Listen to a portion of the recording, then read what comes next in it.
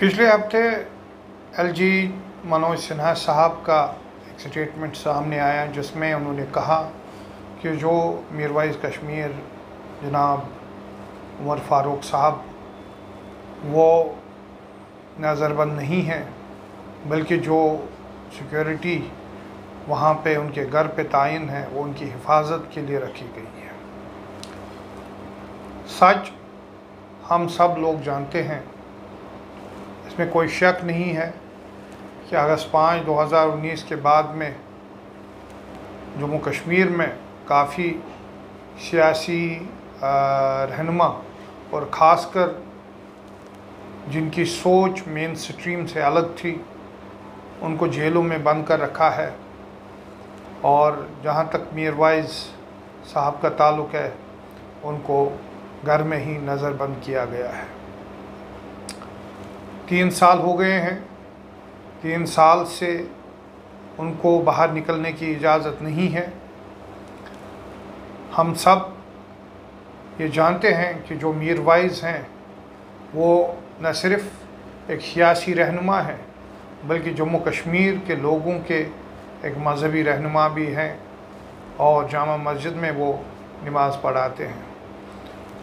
इस तरीके से उनको नज़रबंद रखना उनको बंद रखना, ये इनको अपनी जो मजहबी रसूमात हैं, मजहबी ज़िम्मेदारी हैं उनकी, उन फ़रज़ को अंजाम देने से इनको रोका गया है। मैं समझता हूँ, एक जमहूरीत में लोग मुख्तलिफ़ सोच रख सकते हैं और ज़रूरी नहीं है कि हर कोई शख्स आपकी जो सोच है, आपकी जो आइडियोलॉजी है, उससे अलाइंड हो। लोगों की मुख्तलिफ़ सोच हो सकती है। लेकिन जमहूरीत का तकाजा ये है कि हम सबको एक दूसरे की सोच, एक दूसरे की आइडियोलॉजी की रेस्पेक्ट करनी है। आइडियोलॉजी को आइडियोलॉजी से ही जीता जा सकता है।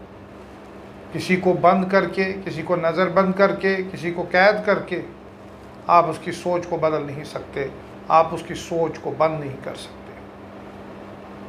इसलिए मेरी हुकूमत से गुजारिश है कि वो मीरवाइज साहब को जल्द अज जल्द रिहा करें, ताकि वो अपने मजहबी जो फ़रज़ हैं, उनको अंजाम दे सकें। और इसके साथ साथ मेरी हुकूमत से और एक गुजारिश है कि जो जम्मू कश्मीर के जो सियासी कैदी हैं, जो मुख्तलिफ़ जेलों में, चाहे रियासत में या रियासत के बाहर जो जेलों में मुकीद हैं, उनको रिहा किया जाए।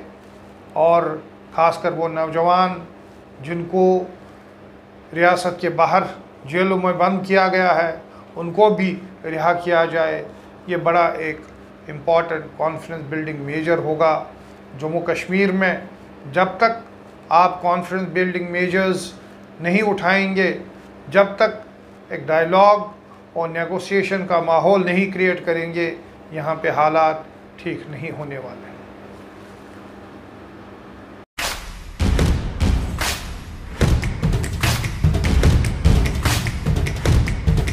Dayanand Sagar University. Live the dream.